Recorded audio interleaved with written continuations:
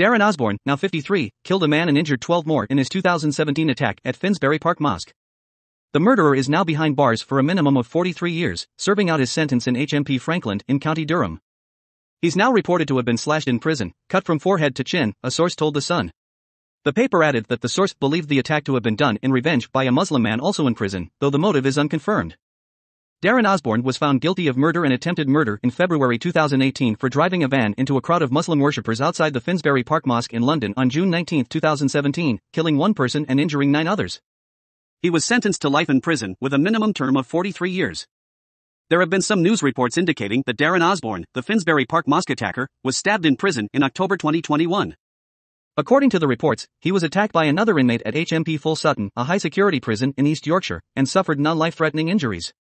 The attack was reportedly carried out with a makeshift weapon, and the prisoner who attacked Osborne has been placed in segregation. The incident is being investigated by the police and the prison authorities.